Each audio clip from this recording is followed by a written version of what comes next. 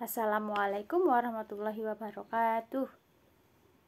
Good morning students. How are you today? Alhamdulillah hari ini kita belajar bahasa Inggris lagi ya.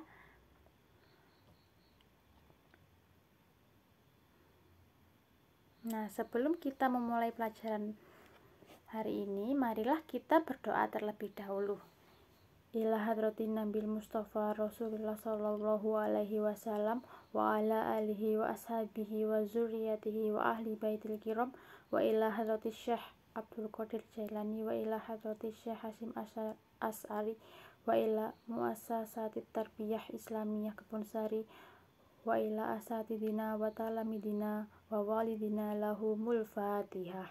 A'udzu billahi minasyaitonir rajim بسم الله الرحمن الرحيم الحمد لله رب العالمين الرحمن الرحيم مالك يوم الدين إياك نعبد وإياك نستعين اهدنا الصراط المستقيم صراط الذين أنعمت عليهم غير المغضوب عليهم غير المغضوب عليهم ولا الضالين Rabbi firli wali walidayya walil mu'minina amin.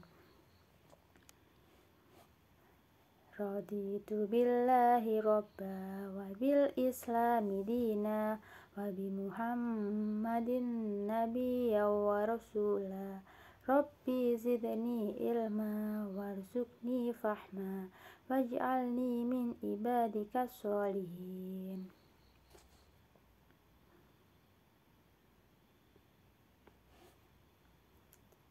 Allahumma sholli sholatan kamilatan wa salim salaman.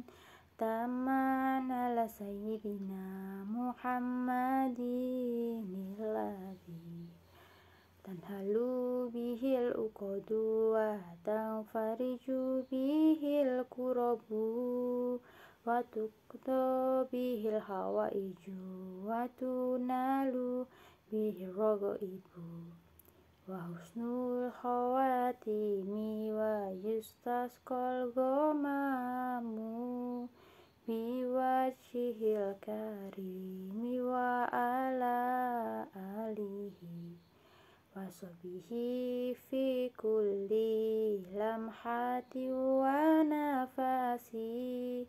wa nafasim bi adadi kulli ma'lumillah. Alhamdulillahirabbil alamin. Nah, anak-anak, di sini Miss Milda mempunyai sebuah gambar. Di gambar ini terdapat sebuah papan tulis, ya, ada beberapa meja, kursi, buku, dan benda-benda lainnya. Dari gambar ini, coba tebak hari ini kita akan mempelajari tentang apa? Iya, benar. Hari ini kita akan mempelajari tentang benda-benda yang ada di sekolah. Baik-baik ya penjelasan Bu Guru.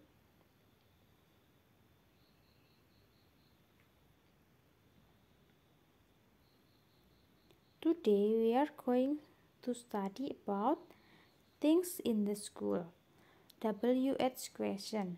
This, this, that, and those.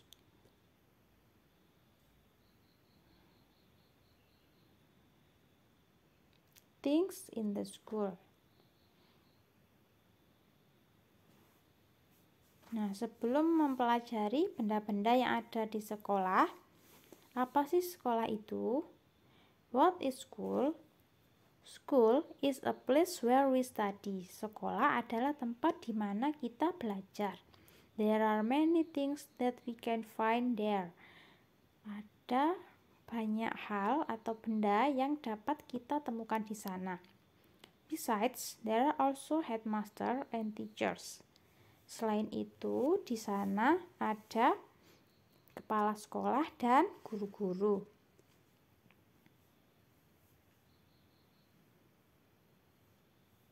English vocabularies.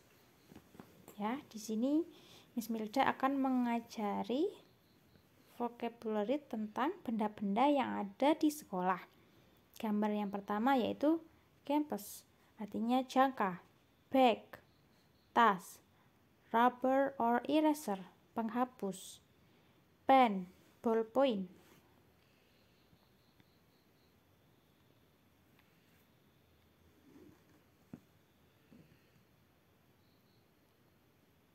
Pencil case, tempat pensil, sharpener, rautan, book, buku, ruler, penggaris.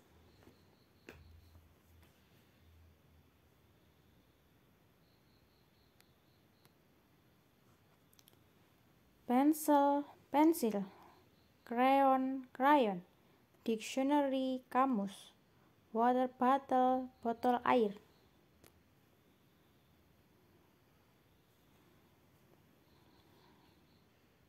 Nah, selanjutnya kita akan mempelajari WH questions.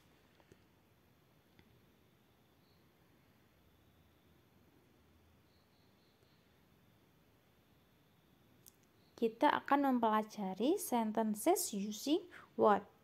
Contoh. What is this? Apa ini? This is a rubber. Ini adalah sebuah penghapus. Contoh yang kedua. What is that? Apa itu? That is a sharpener. Itu adalah sebuah rautan.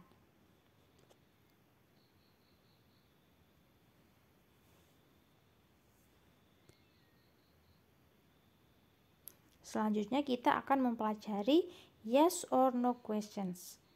Contoh yang pertama. Is this a dictionary? Apakah ini sebuah kamus? Yes, this is. Nah, karena gambarnya adalah sebuah kamus, maka benar ya. Yes. Contoh yang kedua. Is that a ruler? Apakah itu sebuah penggaris? No, that is not. That is a bag. Bukan, itu adalah sebuah tas ya. Karena di sini gambarnya adalah sebuah tas, sedangkan yang ditanyakan adalah penggaris, maka jawabannya no ya. Selanjutnya kita akan mempelajari this or this. Kira-kira apa ya this itu?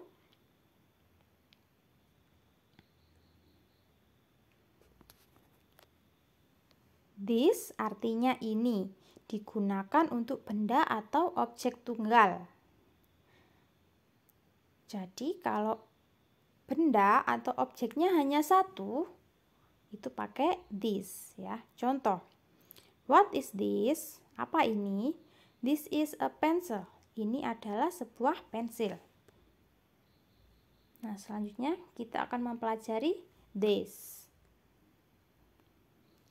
This artinya ini digunakan untuk benda atau objek jamak. Ya, jamak itu lebih dari satu. Contoh. What are these?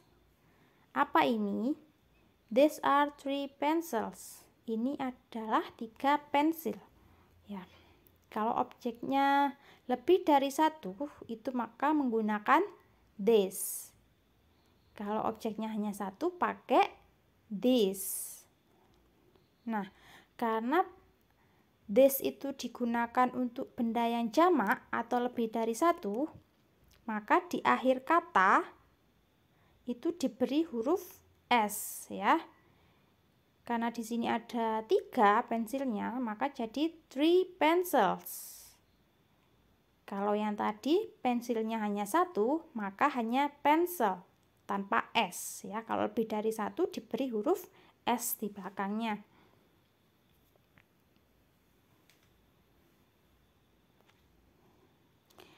That or those.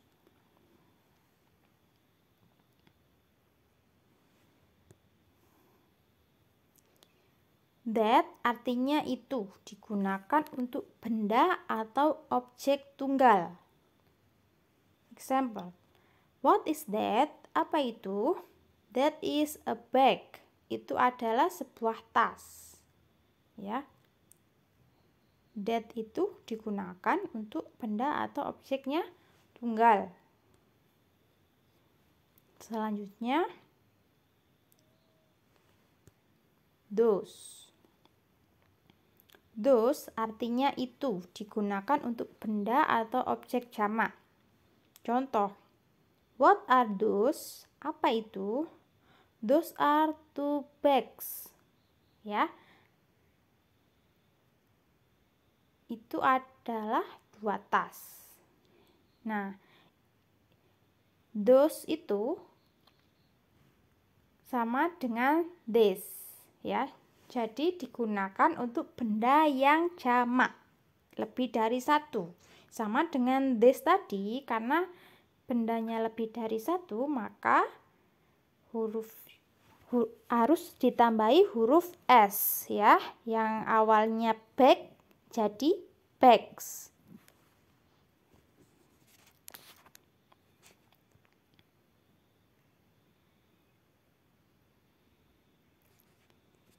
Sekian dulu materi kita hari ini. Semoga ilmu yang diperoleh anak-anak bermanfaat.